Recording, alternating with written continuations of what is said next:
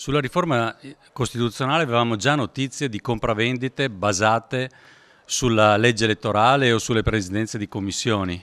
Oggi si aggiunge anche l'ipotesi di un corrispettivo economico. Il Movimento 5 Stelle deposita oggi un esposto alla Procura della Repubblica perché si faccia luce sui fatti denunciati in aula da Gasparri.